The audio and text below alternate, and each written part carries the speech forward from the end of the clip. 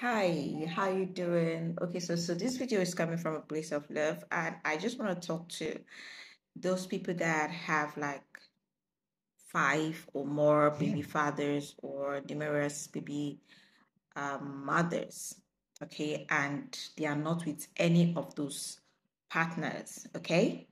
So I was just wondering, could it be that this set of people have the same problem or the same kind of problems, or is there possibility that you could be the problem you could be the one that has the problem or there is something about you that you really need to work on that keeps attracting the same set of people to you?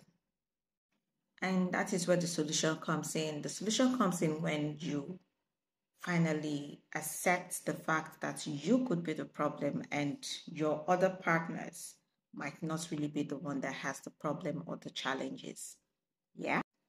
And secondly, seeking help and going for therapy, it really, really, really, really helps. You know, sometimes when you point at someone this way, the rest finger comes back to you. So there could be possibilities that, you know, we as individual, we are looking at our partners to be the one that has all the challenges, where us, we could be the actual ones that have the problems. So, if you go for therapy, it will actually help you to really ascertain what the actual problem is and to work on it.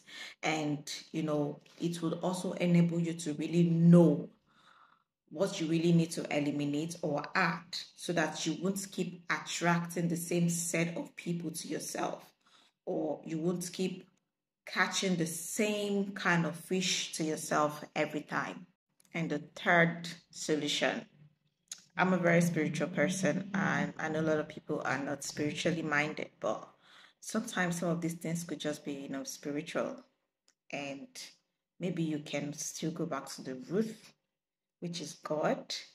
You know, make peace with Him, get help, seek help, and be able to work on yourself and work on everything. And because sometimes it's not even about getting into a new relationship that is the solution because once you get into a new relationship and you haven't really worked on the roof, you haven't worked on what needs to be worked on, you still garbage in and then you garbage out, which is really pointless.